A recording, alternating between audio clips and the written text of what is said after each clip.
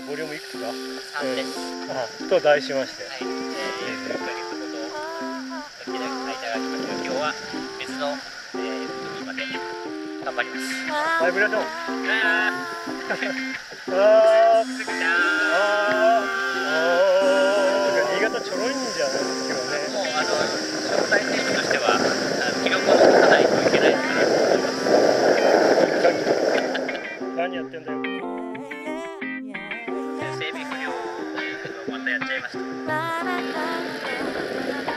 じゃあここらで。ペさレースを置いてくるはいこれエース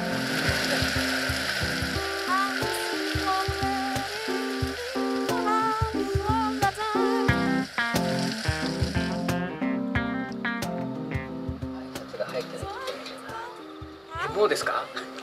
え。えー、こんにちはおはようございます。も う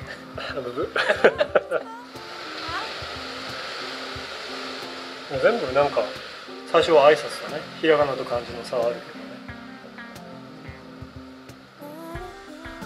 これすごいよ。グレートでかい挨拶。GDA グレートでかい挨拶の略。咲かせようよ。GDA 笑顔と花と爽やかモーニンおグあこれ別だ。別だよ別だよ別だよ。別だよ。あこれがダイダイム君はいタイムはい。タイムタイマー君じゃないよね。やばいことになっちゃうね。そうするとこっちはえ？咲かせようふにゃふにゃふにゃふにゃ。笑顔の花と爽やかモーニング。があやちゃん。うんあやちゃん。3年生だからようやくモーニングって書けるようになったんだねきっとねこれね。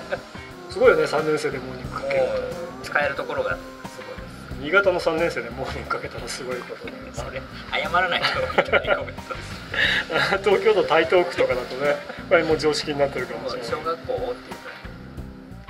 はいですねか挨拶と笑顔でごまかせ我のミス。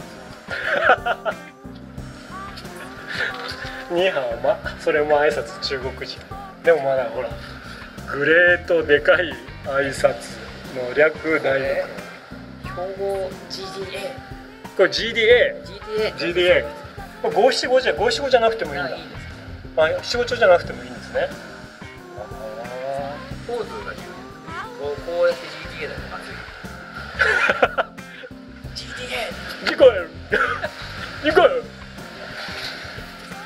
咲かせよう笑顔の花と爽やかなあやちゃんくどいねまた来年見に来ないと。いけないね、はい。ただこれ第1回やん。で現在第2回標語もう募集中なので。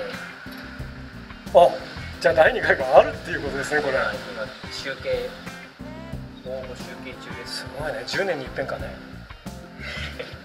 いやいやいや一応。俺これは一応去年かな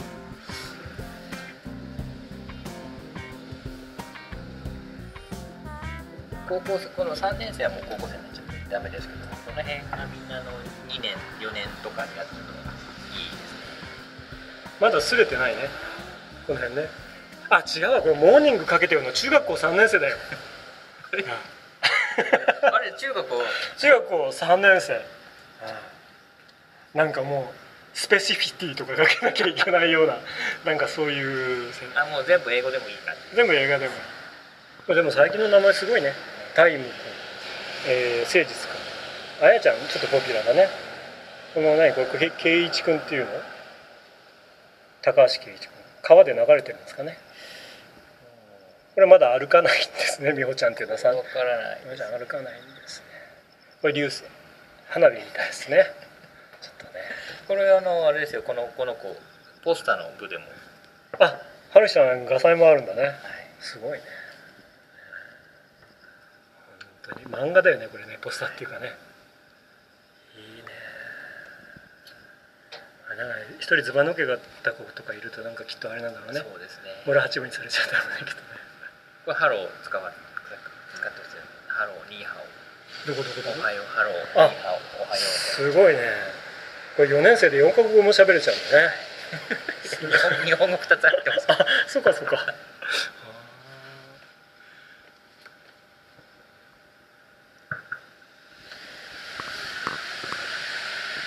一般の人は絵を描かないんですかねこれ。ね一一般の人は絵描かないですね。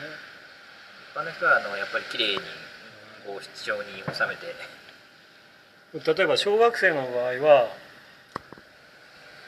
心の扉を開くで中学生になると笑顔の花を咲かせる。もうあの心の扉は、えー開いていってあとはもうその倦怠期の頃の状態のいかに笑顔を引き出すか。あとりあえずもう鬱なんだね中学生になるとねこれね。で大人になってくると、はい。挨拶を交わせばつながる地域の輪、はい。まあ、村八分にされないようにっていう。ですね。やっぱ地域交流がやっぱり一番問題になってくる。なんか立井さんちの旦那さんって変じゃない？何してるかわかんないわよとかって言われないような配慮が配慮が必要になってくるでこここれですね。やっぱり一番大事なの。どれ？先手必勝、はい、ああ先手必勝。爽やか勝利、でもこうすもうあっちに影が見えた途端に「うっす。はい、聞こえるように。なんだよ。GTA ですよ。あなんだよ立石お前。ちょっと俺に挨拶押せんじゃねえかおい。とかって。ちょっと一瞬影を。ですね。で、うん。そこを地域の輪をこう環境を作っていく。まあなるべく対立候補は作らない方が。でまあこれがあれでしょうか。ねお隣さん一声挨拶笑顔の一日。そうですね、ねはいゴミ出しとかちょっといろいろ大変だよねきっと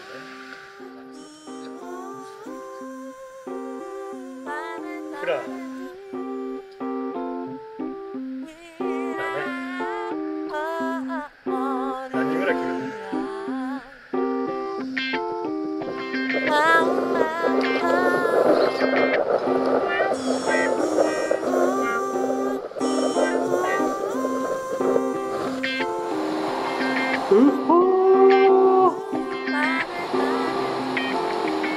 優。えー、ケニオさんボリュー。ム3でしたっけえー、信濃川河口まで本来の信濃川河口まで無事たどり着くことができましたえー、紆余曲折ございましたが